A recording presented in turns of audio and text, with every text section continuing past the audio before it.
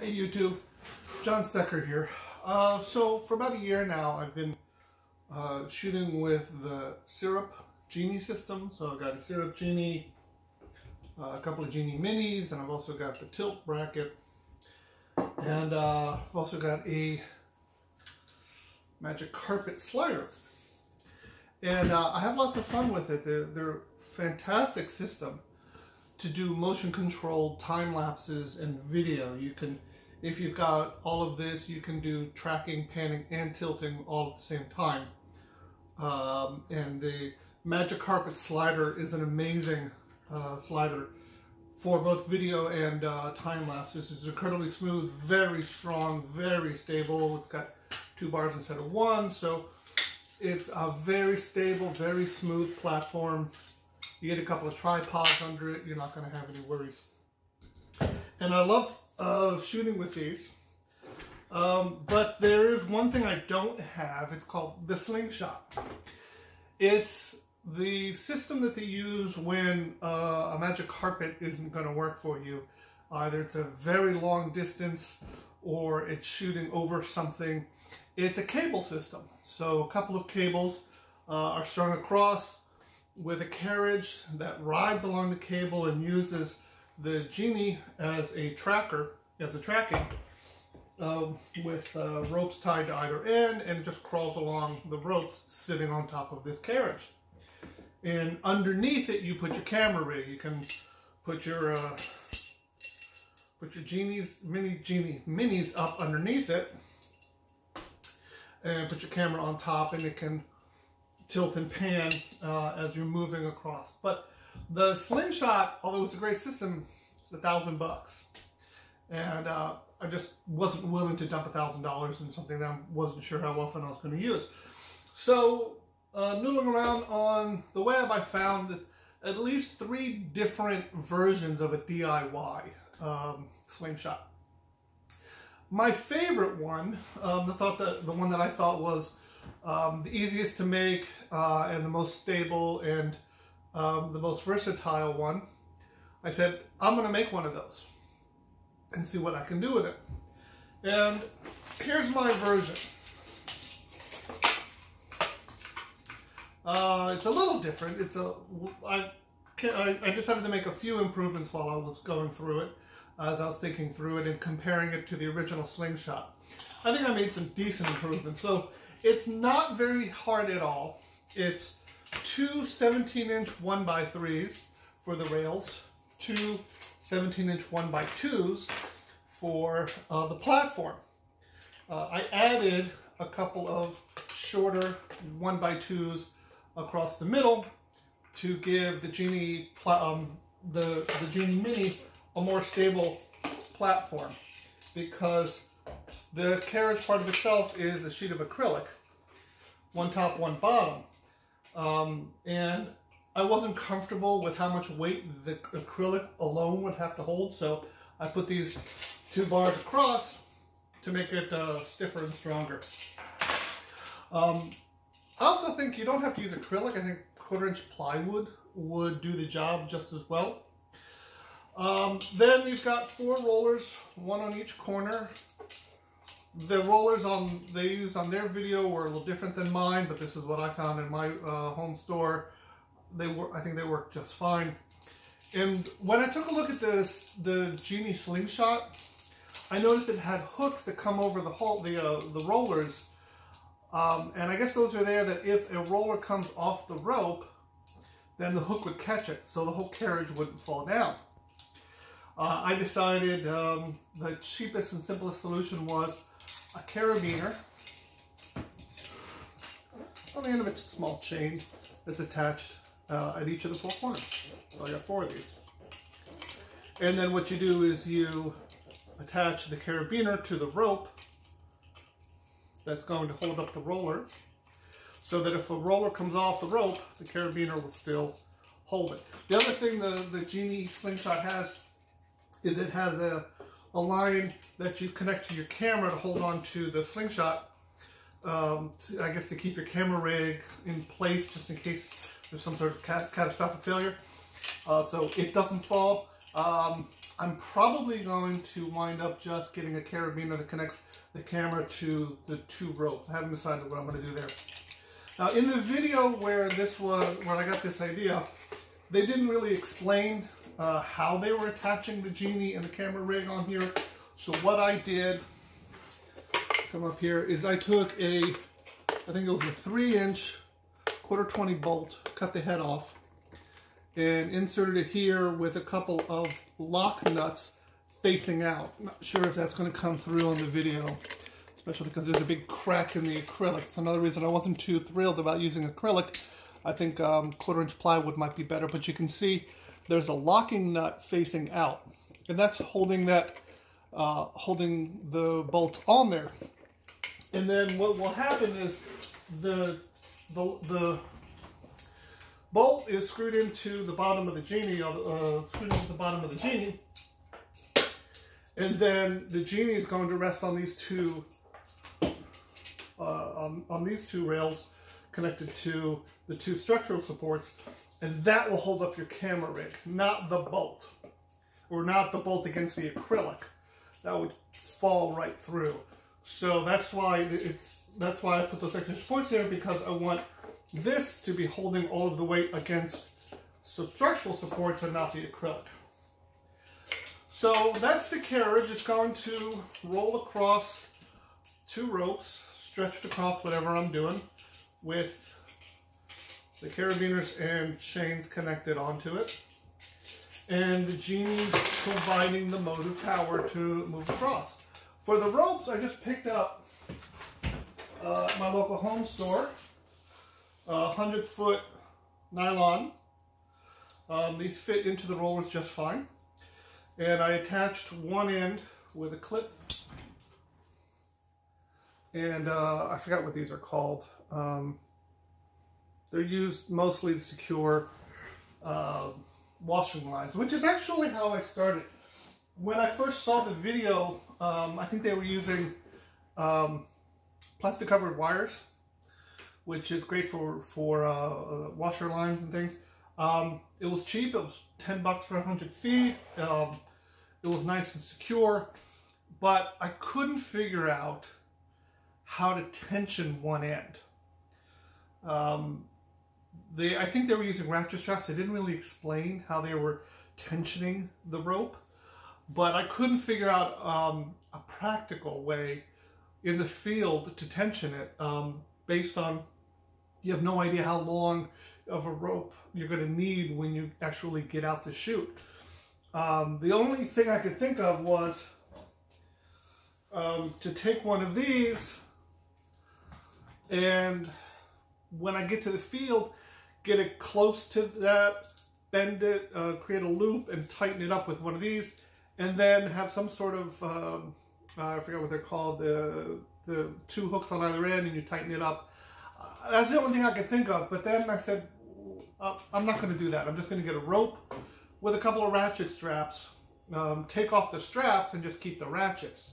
So that's what I've got for my two posts that anchor my ropes to the trees. So one rope, the static, excuse me, one anchor, the static side, just has a couple of eye bolts that are the exact same distance apart as the two rollers on my carriage.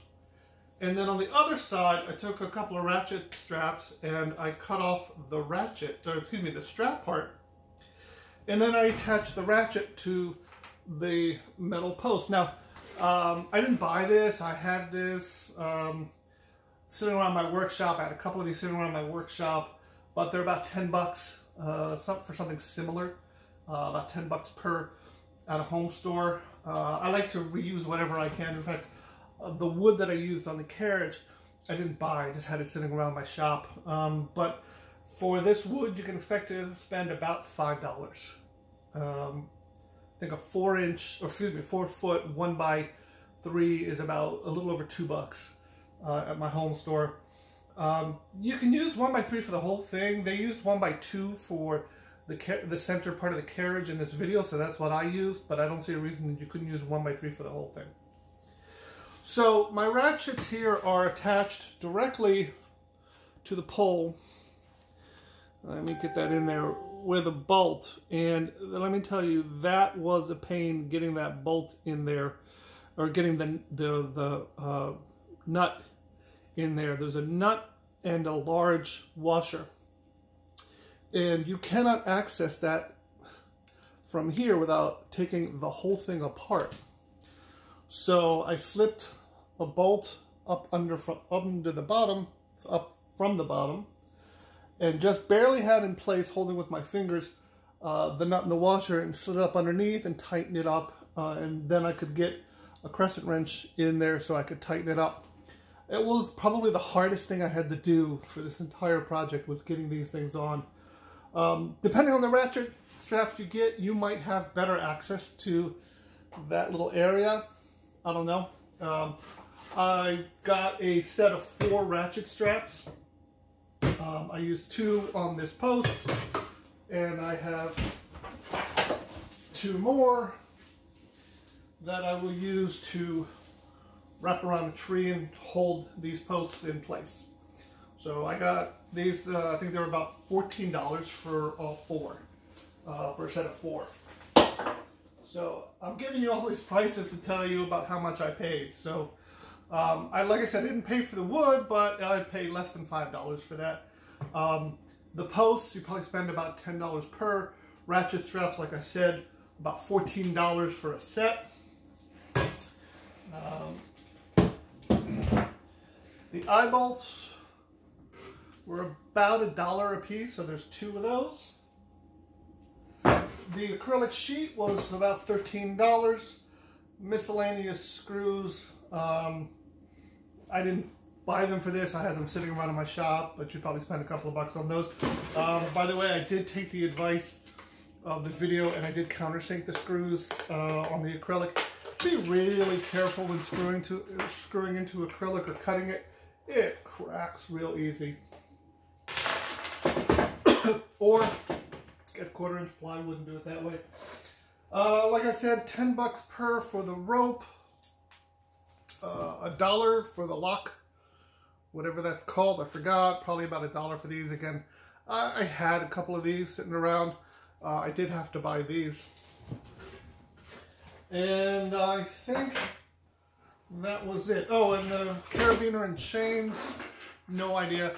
A few dollars to do those. Again, I had those sitting around. I had them left over from a, a couple of Costco LED work lights. The one way to hook them to the ceiling was a chain carabiner uh, system. I screwed them directly uh, to a joist, so I didn't need them, so I had them sitting around my shop and used them. And uh, probably a dollar for the bolt.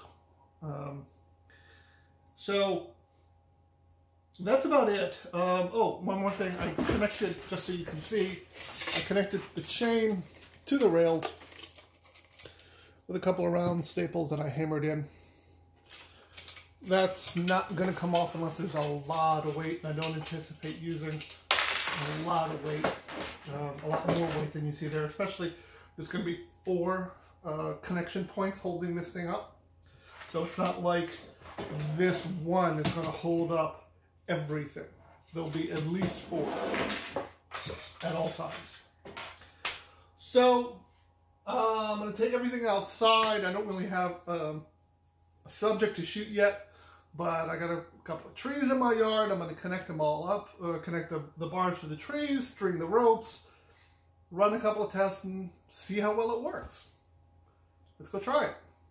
Okay, so now we've got, uh, we're outdoors, and I've got a couple of trees uh, about six meters apart that I'm doing just to test. I've got, um, got both my anchor bars. So this side is the static anchor bar, I've got just two eye hole uh, belt bolts on it. And this will be the static side, so the ropes will uh, attach first here. And this is the tension side. Now on this side, I've got both of my ratchets. And they're the exact same distance apart as the eye holes, which is the exact same distance apart as the rollers. So it all will work very smoothly. So my first job is to take my second set of ratchet straps, first one of my two second set, and attach each of these bars to a tree. So I'm gonna go do that. So we've got our ratchet end here attached by ratchet straps onto this tree wrapped around. Um, right now it's just hooked on the end of these fixed points. I'm probably going to wind up drilling a hole or something to put these uh, into um, to make sure that they don't slip. But right now they're pretty solid. And then down here about six meters away is the fixed point end. So same ratchet straps, have hooked in the same points. So now I'm ready to start hooking up my rope. Got both of my ropes. All I have to do, connect to one eye bolt for one, and the other rope connects to the other one. That's it. That's it for the static side. Um, by the way, uh, I realized afterwards I bought both ropes same color. I wish I had bought one one color, one another color. That way, uh, if I'm having a problem on the far end, I can tell which rope I'm, I'm dealing with. So lesson learned by ropes of different colors, one for left, one for right. Okay, I've pulled my rope all the way across my length here. This is one of my uh, two sides. Um, I'm going to attach it to the ratchet strap. Now, it's a 100 feet of rope, and I don't want to put all 100 feet through there to get it started, so I'm just going to put a loop in it and feed that loop through. Get it kind of tight here. and tight and then start ratchet. Don't get it too tight on one side without starting on the other side over there. Alright, so I've got both ratchet straps um, pretty tight on both sides. They're about the same tautness, I guess that's a word, um, about the same uh, tight on both sides, which is where I want it. I don't want anything leaning one side or the other. And um, I think we're ready to give it a try. So now we're ready to take the carriage and place it on the strings, place the rollers on the strings. Okay, moves pretty well. Uh, for safety, we're going to take the carabiners on the chains and attach them onto the ropes. Um, one thing uh, I think is useful to note is the carabiner in the front should go after the roller. Carabiner in the back, again, should go after the roller. So if this is the direction I'm going, I want this first carabiner after the roller, second carabiner after the roller. That way the carabiner's not trying to be, or the roller isn't running over the carabiner as it's moving. Now of course, when you're rewinding things, uh, will do that. But um, what I want to make sure is during the actual video or photos that the carabiner isn't getting away the roller. So moving, moving fairly well. Very little friction. Not a lot of up and down bounce unless I'm pushing it. But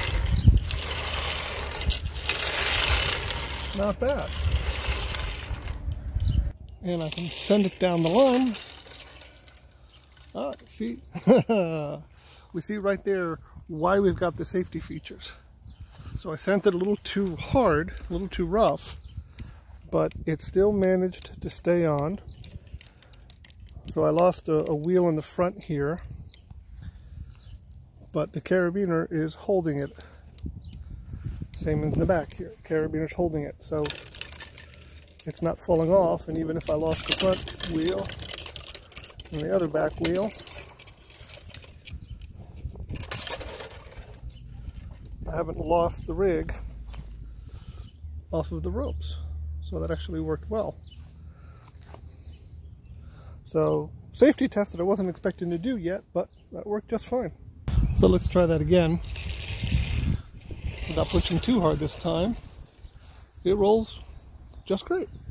So now I'm ready to start attaching the Genie to my carriage. So I've got here my quarter inch, uh, quarter 20 bolt, but I've put the 3 8 inch adapter on it. And take the Genie carriage. tighten it up. Now, hopefully one of the things you notice in the video is that the extra two uh, one by two boards that I put on here, uh, the, the Genie carriage is sitting on top of those. So that's taking the weight and transferring it to these supports rather than the plastic, the acrylic sheet. I felt much safer about it that way. Then we take the Genie, attach it on. Now we've got to tie the ropes on either end to either tree. I had a clip that I somehow lost where I actually programmed uh, the Genie to move all the way down the line and I recorded it. Uh, somehow I lost that footage, uh, but this is the Genie actually moving down very smoothly. Uh, it's carrying the whole thing down without any issues. There were some slight hesitations. I don't I don't really know how to say it. Just it, it would sort of jitter back and forth, but nothing noticeable. I was just being very very uh, attentive to everything that was happening. And here you can see as it's moving. This is some sped up footage just because it goes really slow. Um, some sped up, sped up footage of it moving down and some more sped up footage of it uh, going back.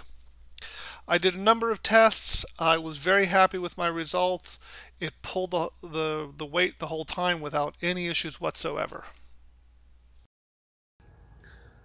So I'm very happy with it. Um, you can still see it going here. I'm running a few more tests. Uh, I did run a test with the two Genie Minis and the tilt bracket hanging underneath. It performed wonderfully. Um, it's very smooth. Uh, no issues. The weight doesn't seem to be an issue. I, when I put the whole gear on here, it still held plenty fine. You might want to tighten a little bit more if you've got more weight. But it's performing very well. I had a bit of a breeze coming through here earlier, and I didn't see an issue. It wasn't really wobbling or anything. Uh, I don't have a time lapse to do because, frankly, all you're going to look at is grass big deal.